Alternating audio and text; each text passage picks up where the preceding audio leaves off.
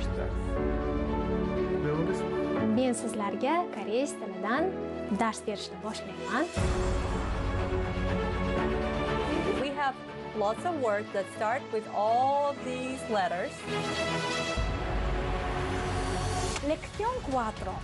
Hoy aprendemos los números y el tiempo. Bugun sizlar bilan raqamlar va vaqtni o'rganamiz. So'zimiz pronomen kishilik olmoshlari.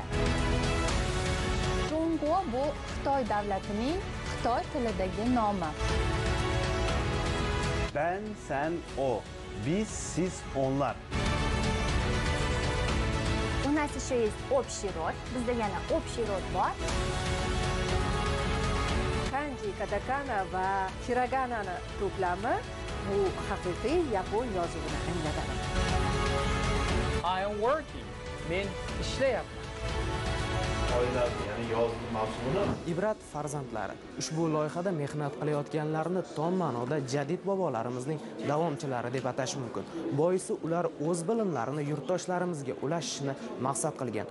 Ushbu loyiha xorijiy tillarni o'rganishni e, targ'ib qilish orqali yoshlarning chet tillarini sifatli tez oson va eng asosiysi bepul o'rgatish maqsadida tashkil etilgan. Bugun esa bir nechta chet tillaridan darslar tayyorlanib youtube platformasiga joylashtirilmoqda. Ko'rsatuvimiz davomida ushbu loyiha va uning imkoniyatlari haqida so'z yuritamiz.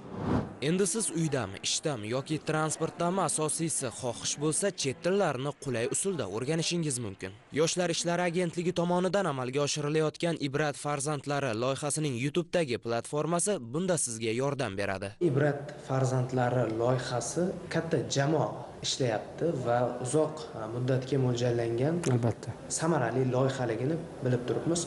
Bu loyiha xorijiy til o'rganuvchilarga qanday imkoniyatlarni beradi? Loyihamizdan maqsad nafaqat toshkent hududida balkim eng chekka hududlarda til bilishga qiynalayotgan eng professional ustozlardan dars olishga qiynalayotgan. Chunki manzillar uzoq balki moliyaviy tarafdan qiynalayotgan insonlarga sifatli kontent yaratib berish. Bu loyihani tashabbuskorlaridan hurmatli prezidentimizni xorijiy tillarga berayotgan katta e'tiborlari o'laroq bu loyiha boshlangan. Ya'ni yoshlar siyosatini ko'proq xorijiy tillarni o'rgatish o'laroq biza yordam bermoqchimiz. Bu narsa bepulga qo'llab quvvatlov judayam yaxshi. Hurmatli prezidentimiz tarafdan bu judayam bir e'tibor katta bu narsaga. Mezon bo'yicha oltin ya'ni o'rtalikni tanladik. Nafaqat yoshlarni balkim boshqa soha vakillariga ham xorijiy tillarni o'rgatish. Ustozlarni tanlashda biza asosan ularni bilimiga qarab ikkinchi ma'noda ularni ya'ni yoshlar bilan qanday ishlashadi? Chunki bizada mana ingliz tili soft skill bo'ladi. Nafaqat uni o'rganish balkim o'rgatish e, mahorati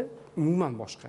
Shunga biza oldinga qo'ygan maqsadimiz xitoy tilidan bo'ladimi yapon tilidan bo'ladimi koreys tilidan bo'ladimi eng yuqori darajadagi tanlashga harakat qildik mazkur platformaga shu kungacha ingliz rus nemis turk hamda chet elliklar uchun o'zbek tilidagi darslar joylab borilgan bo'lsa endi koreys yapon va xitoy tillarini o'rganishni xohlagan yoshlar ham bu platformaga murojaat qilishlari mumkin. Bizning loyihamizda ham sharq tillari ixlosmandlari Xitoy tilini noldan boshlab Xitoy tili ohanglari, Xitoy tilini transkripsiya alifbosi, Xitoy ierogliflari haqida boshlang'ich ma'lumotlarni olib, to o'sha grammatik konstruksiyalarni hamda Xitoy tilida qanday gap tuzilish qoidalarini o'rganib, albatta muloqotga kirisha olishadi. Hozirgi kunda biz Xitoy tili darslarimizni bir nechtasini tasvirga olib bo'ldik. Har kuni YouTube tarmog'ida darslarimiz onlayn formatda berib borilmoqda. Ibrat farzandlari loyihamizdagi darslar nafaqat kichik yoshdagi bolalar maktab o'quvchilari balki aynan abituriyentlar uchun ham judayam samarali bo'ladi. Undan tashqari hozirgi kunda xitoy xalq respublikasiga borib savdo sotiq ishlarini olib boradigan o'zbek tadbirkorlari e, judayam ko'pchilikni tashkil qiladi.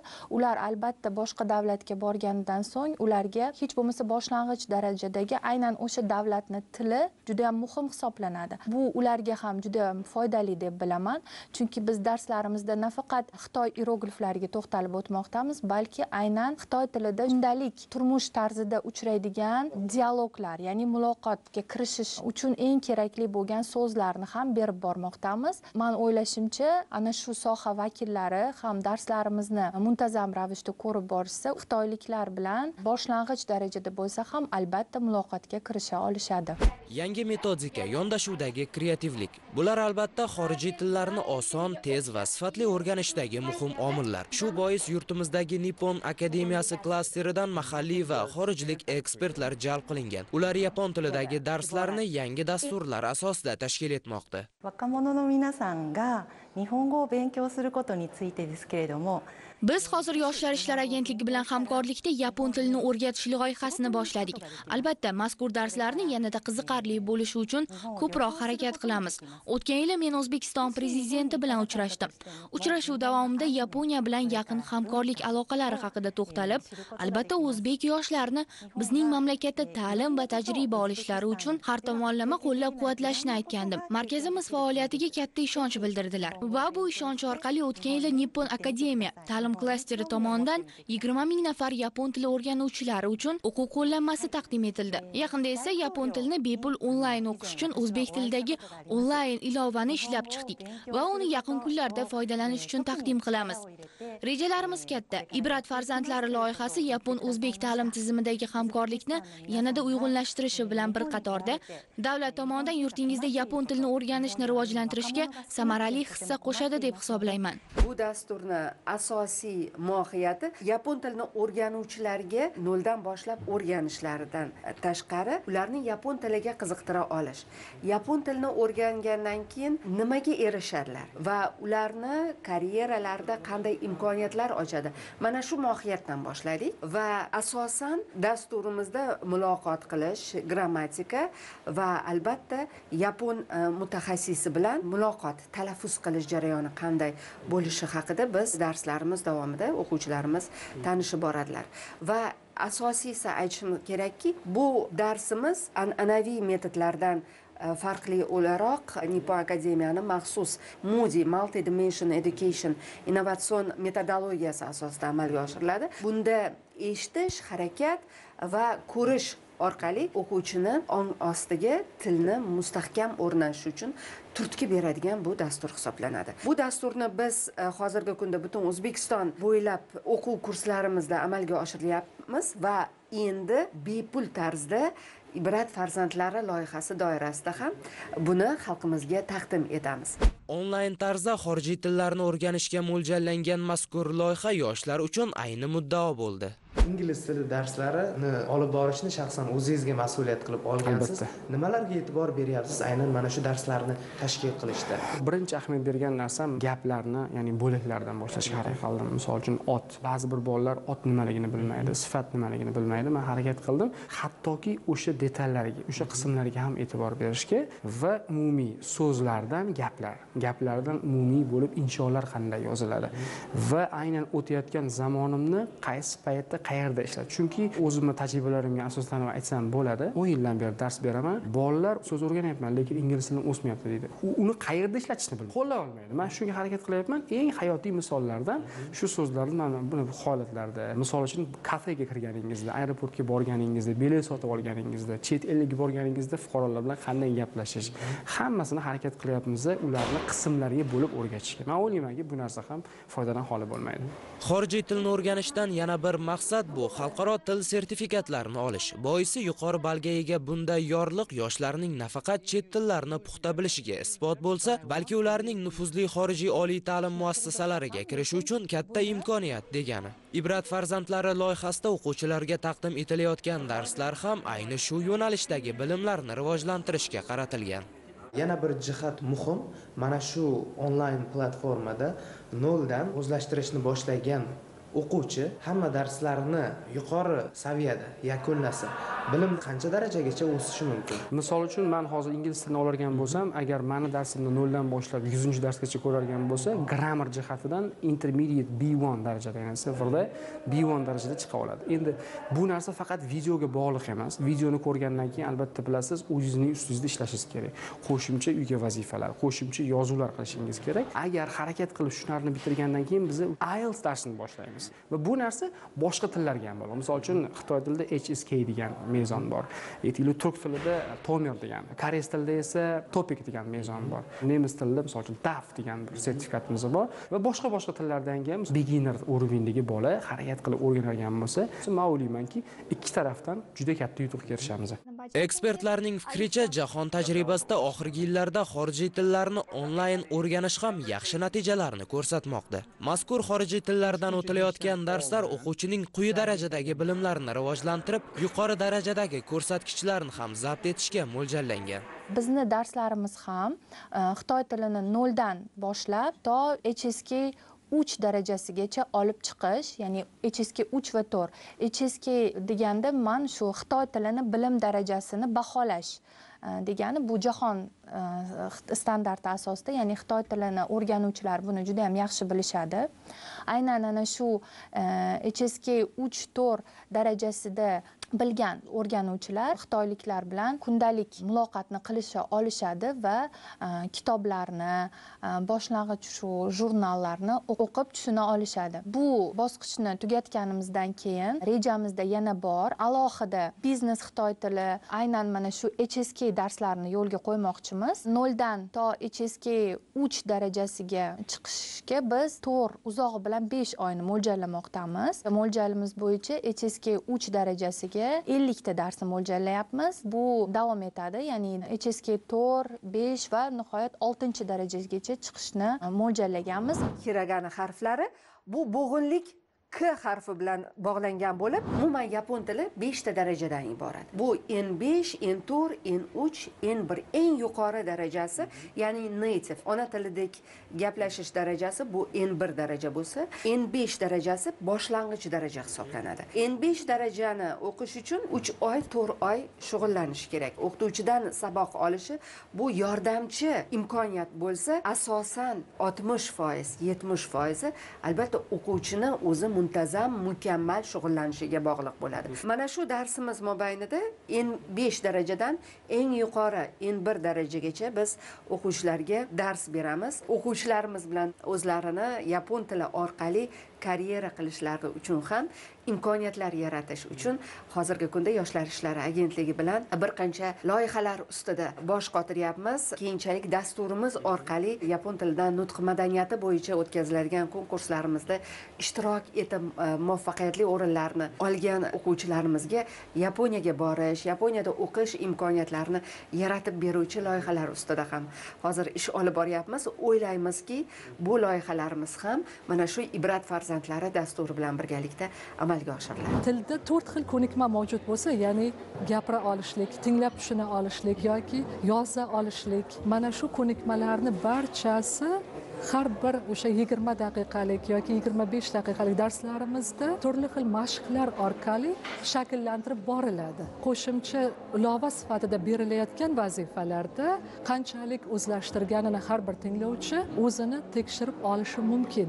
Men bermoqchi bo'lgan nemis tili kursi asosan nemis tilini sertifikat uchun ma'lum bir muassasada ishlash yoki ma'lum bir chet elda tahsil olish uchun sertifikat gyute sertifikati sertifikatlarni sertifikatlarini topshirmoqchi bo'lgan yoki ma'lum bir nemissabon davlatda o'z faoliyatini olib bormoqchi bo'lgan kishilarga yoshlarga qaratilgan kurs Loyihaning yana bir afzalligi tizimli va o'zbek tilida olib borilayotgani. Bu ham xorijiy tillardagi dastlabki darajalarni sifatli o'zlashtirish uchun muhim ahamiyatga ega.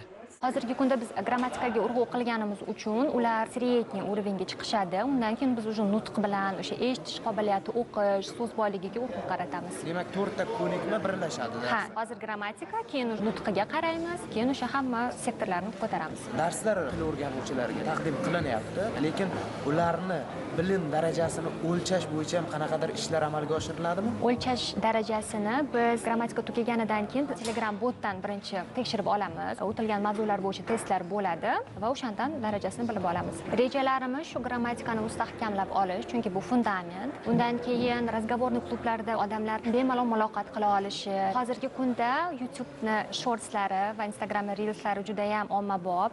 Shunga yarasha biz bir daqiqalik ham eng kerakli bo'lgan iboralar bilan videolar qo'yyapmiz va o'sha bir daqiqani o'zida ham ko'p iboralarni yodlab ishlata olishga ko'maklashyapmiz Ta'kidlash joiz, jamoa o'z tarkibida yuqori bilimga ega bo'lgan Zamira kabi talabalardan tortib, ko'p yillik tajribaga ega ekspertlarni o'zida birlashtirgan. Jamoaga tajribali ustozlar ham o'z mahorati bilan yordam berayotganidan xursand. yoshlar ishlari agentligining ibrat farzandlari loyihasiga jalb qilindik va man bundan judayam xursandman. Nimagaki bu mani bir maqsadlarimdan biri edi. Nafaqat tilni o'zimni talabalarimga balkim salomatligi sabab yoki moliyaviy vaziyat sabab nemis tilini o'rganishga imkoniyat bo'lmagan o'rganuvchilarga onlayn kurslarimiz orqali nemis tilini yetkazib berishga imkoniyatni mavjud bo'lganidan bag'oyat xursandman. Har bir media mahsulotni tayyorlab, uni efirga uzatgungacha katta jamoaning mehnati, mahorati kerak. Zamonaviy texnika va yangi metodologiya asosida tayyorlanayotgan darslar ortida shunday mashaqqat turibdi.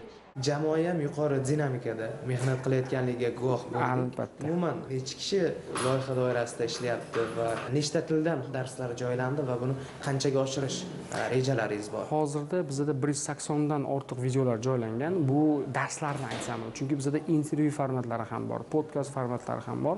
Hammasi sifatli endi jamoaga keladigan bo'lsa ikkita uchta odamdan boshlangan. Ya'ni bu narsa talab va taklifga qarab ko'payib ketaverdi ya'ni montajchilardan tortib to kontentni haligacha mana hozir biz yana reja qilyapmiz endi bu narsani biz ilovaga ulaymiz deb. Chunki nafaqat ingliz tilini yoki boshqa tillarni shunchaki o'rganadi balkim o'rganayotgan bilimini reyting asosida ya'ni xalqaro mezonlar asosida o'zini bilsa bo'ladi ya'ni bilimini tekshirsa bo'ladi. Umuman olganda respublikamizning har bir hududidagi yosh til o'rganuvchi mana shu loyiha orqali sifatli ta'limni oladi. Albatta albatta. Ayniqsa chekka hududlardan yozishyapti. Rahmat shunchalik. Mani o'g'lim sizni youtube platformangizda o'rganyapti va unib o'syapti degan narsalarni biz qo'yyapmiz va bizga bu narsa haqiqiy tom ma'noda motivatsiya bo'lyapti. Internet foydalanuvchilarini aytsak bo'ladi maktab o'rganuvchilarini aytsak bo'ladi. Bu narsa qo'shimcha ravishda bolalarga manimcha judayam o'ylaymanki foydali kontent bo'ladi deb o'ylayman. Har bitta darsga yozilishidan ekran yuziga chiqqungacha o'rtacha ikki uch kun ketadi. Va hozirgi paytda e, kanalimizda ko'rib turganingizdek sakson besh mingga yaqin obunachi bor va bu juda ham yaxshi. Chunki bu loyiha boshlangan qisqa muddat ichida shu narsaga erishildi. Ingliz tilidagi eng ko'p kursimiz aniq hisobda bir yuz o'ttiz mingdan oshdi. Ikki oy ichida. Loyihada mana narsadan iboratki boshlang'ich qismi ya'ni ingliz tilida aytganda a1 and a2 shu darajaga yetgungacha yuz dars olinadi. Bu studiya xorijdan olib kelingan va bunga bir milliarddan oshiq mablag' sarflangan. Bu studiya aynan yoshlarga va shunday loyihalarni amalga oshirishda juda ham qo'l keladi. Va bu loyiha prezidentimiz tomonidan tinmay qo'llab quvvatlanmoqda va biz yoshlar jamoa bo'lib bu loyihada bel bog'lab ishlamoqdamiz. E, Xitoy irogliflari e, bizda biroz mushkullikni tug'dirsa ham lekin buni o'rganishimiz albatta mumkin. Darslarimizni onlayn formati e, o'qituvchilarga ham juda yam qulaylik tug'dirmoqda. Chunki biz aynan bizda mavjud bo'lgan uskunalar orqali darsimizni yangicha metodikalardan foydalangan holda interaktiv taraflariga e'tibor bergan holda bemalol o'tishimiz mumkin.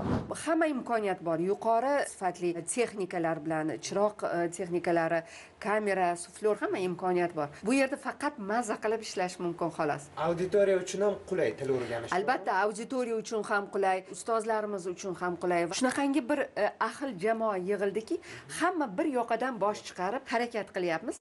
Til o'rganish qanchadan qancha mamlakatlarga yo'l. Qolaversa, o'z sohasida yuqori maoshga ega bo'lish kalit hamdir. Ibrat farzandlari biri loyihasi ham til o'rganuvchilariga nafaqat chet tillaridan saboq berish, balki o'z sohasida xorijda yuqori daromadli ishga ega bo'lishi uchun ham yangi imkoniyatlarni berishni rejalashtirmoqda. hozirgi kunda demografik inqirozni boshdan kechirayotgan yaponiya uchun ham yapon tilini biladigan mukammal mutaxassislar kerak va biz hozir mana shu ishsiz yoshlarimizni orasida ularga mana shu yaponiyada ishlash imkoniyatini ham bermoqchimiz va bunda ibrat farzandlari orqali bepul efirga uzatiladigan yapon tili va boshqa tillar ham barchasi ular uchun juda ham katta yordam beradi deb o'ylayman. Prezidentimizni ham fuqarolarimizni yoshlarimizni har birini til o'rganishga bo'lgan qiziqishlariga hamohang holda mana shu siyosatimizni ham ularni qo'llab quvvatlayotganligi buning uchun katta imkoniyatlarni yaratayotganligi ham hozir bo'lmasa ikki uch besh yilda o'zini albatta natijalarini biladi. Bugun tom ma'noda aytganda Ishoqxon Ibrat bobomizning davomchilari o'z bilimlarini jamiyatga ulashish maqsadida tinimsiz harakat qilmoqda. Maqsad ham shunga yarasha oliy. bu loyihani istiqboli qanday maqsadlar qanday? Maqsadingiz oliy bo'lsa hamma narsa yo'lingizda namoyon bo'ladi. Bizada qariyb 12 ga yaqin xorijiy tillarni rejalashtirganmiz. Eng yaxshi ustozlarni harakat qilyapmiz o'zimizdan jamoaga qo'shishga va shu e, imkon qadar tillarni qo'shib yangilashga. Istiqbolini ko'ryapmanki to'rt yil besh yil ichida juda millionlab insonlarni reja qilgan xorijiy tillarda bolalarga bilim berish va ularni e, saviyasini oshirish. Chunki nafaqat men o'zimni balki boshqa xorijiy tillardagi kasbdoshlarimni o'zimni loyihamga qiziqtirib mana hozirgacha o'zligi kelib hattoki e, takliflarni berishyapti. Biz ham ibrat isoqxon bobomiz kabi bepul darslarni berishga o'zimizdan keyin bir iz qoldirishga bu ona vatanimizga bo'lgan o'zbekistonimizdagi aynan tilga bo'lgan muhabbatni tong ma'noda oshirishga hissa qo'shaylik degan narsani aytishyapti bizga keyingi oltinchi darsimizda ko'rishguncha xayrlashamiz. Deva sayonara. Sayonara